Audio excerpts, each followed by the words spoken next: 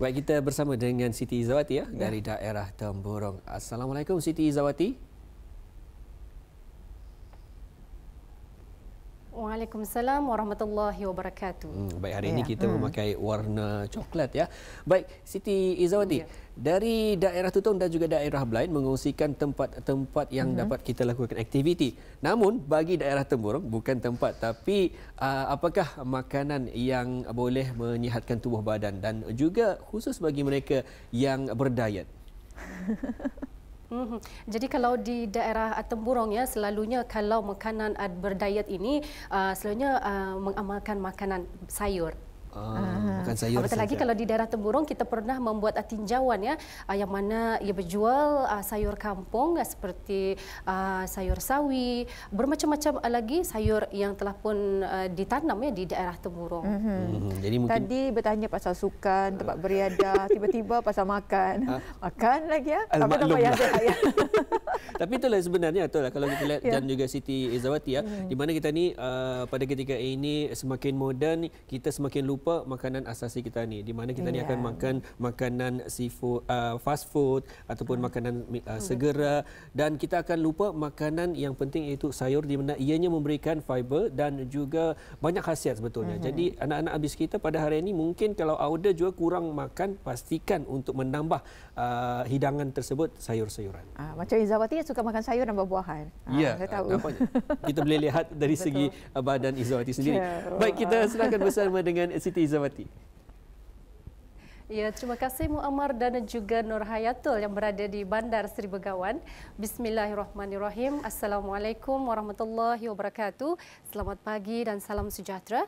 Ya, audiens seperti biasa dari daerah Temburong, kita akan dapat sama-sama menyaksikan bahan yang telah pun disediakan oleh rakan tugas. Namun sebelum itu ingin kita kongsikan terlebih dahulu keadaan cuaca di daerah Temburong pada pagi ini cerah dan apapun je perancangan bis kita pada pagi ini supaya akan uh, sentiasa meningkatkan kewaspadaan walau di mana jua Auda berada dan ingin kita kongsikannya juga ya bersama uh, dengan Auda yang mana pada hari Sabtu 13 Jun 2020 akan diadakan kem kempen derma darah bermula pada jam 9 pagi hingga 12 tengah hari uh, bertempat uh, di pusat belia cawangan daerah Temburong. Jadi kepada auda yang ingin menderma bolehlah datang ke pusat belia cawangan daerah Temburong bermula pada jam 9 pagi hingga 12 uh, tengah hari. Mudah-mudahan darah yang auda dermakan itu akan dapat membantu mereka yang memerlukan. Dan ada seterusnya kita terus saja menyaksikan bahan yang telah pun disediakan oleh rakan tugas kita Nahdlatul Ayumi mengenai dengan perniagaan, makanan dan minuman. Kita saksikan.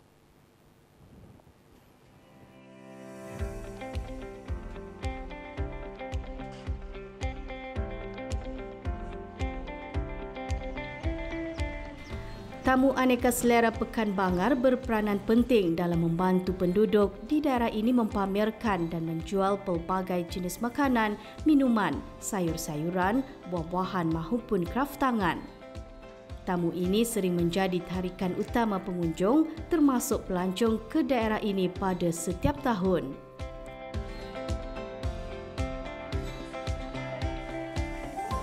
Bagi peniaga, tamu seperti ini adalah medium terbaik untuk mereka meningkatkan hasil pendapatan mereka.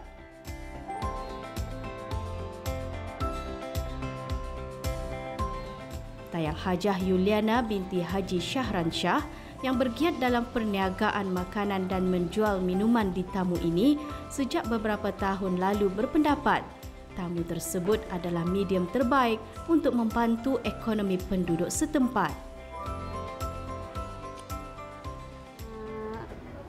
Barang-barang yang kujual di sini nih makanan anu cendol segala wajib tapai. Kalau hari biasa ada pulang jual-jual nasi katuk apa tuh macam nasi pusu nasi ane uh, tapi sebatah ada anu apa nih penyakit covid ini macam indah dulu kami berjual nasi. Masa ini yang paling laku cendol lah cendol wajib uh, itulah yang paling laku masanya. Uh, uh, alhamdulillah pulang. Macam pelanggan tu pun makin banyak. Macam yang kalau cendol ini pun makin ramai yang datang dari bandar. Uh, macam masak sendiri? Oh sendiri masak. Uh, kalau wajib atau ada kakak buat jual kan? Uh, uh, ada. Macam cucur-cucuran pun. Cucur-cucuran pun laku banyak masanya jual uh, Sentiasalah kalau waktu. Ah, tiba ada pisang, ubi manis, kacang, cucur udang, macam-macam lah. Popia, karipap, begedel. Itulah yang paling laku. Ah, macam ah, begedel, apa.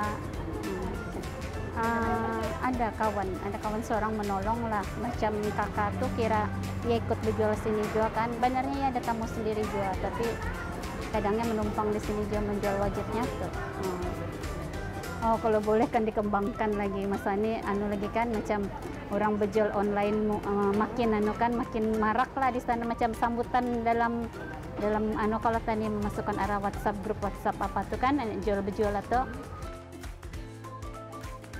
Sudah pasti besar harapan para peniaga ini untuk melihat nama perniagaan mereka terus kukuh dan semakin berkembang. Walaupun mungkin sukar, semua itu dapat dilalui sekiranya fokus dengan apa yang diinginkan.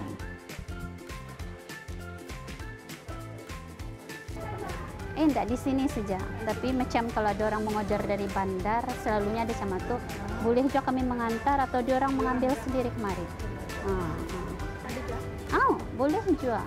Banyak juga sudah yang menampak. Ah, macam dari bandar atau orang kanan doa akan macam makan doa selamat ke apa. Ada ada. Macam selalunya macam diorang sebelumnya tu menelpon kah dulu atau mau WhatsApp kah dulu? Uh, macam dua tiga hari. Macam malam pun pastikan lagi takut kelupakan atau terluput melihat ano WhatsApp ah. Uh, ya ta yang selalunya jaga kebersihan lah ha. terus macam tani pun melayan pelanggan dengan ramah lah. Atau tentu sudah tu ha, yang macam barangan-barangan yang tani buat atau indahnya orang. Kadangnya cindol ini barang sensitif kan? Kadangnya kalau tani membuat lebih awal malam apa tuh takut ia berubah berubah. Macam ada kadangnya ada orang jual anu bangas apa tuh kan? Ya tak mesti kalau macam aku selalu aku membuat awal pagi. Uh, ya tak kadangnya datang kemari pun ia punya kuah itu pun masih panas-panas.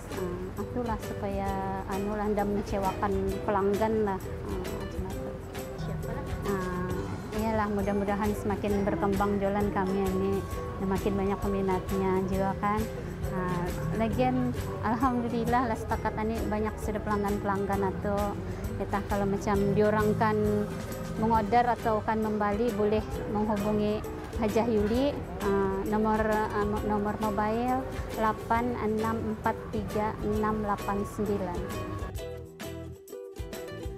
Peluang perniagaan kecil-kecilan seperti ini sememangnya memberi peluang kepada para peniaga untuk menambah pendapatan sampingan di samping sedikit sebanyak meningkatkan ekonomi dalam kalangan penduduk tempatan.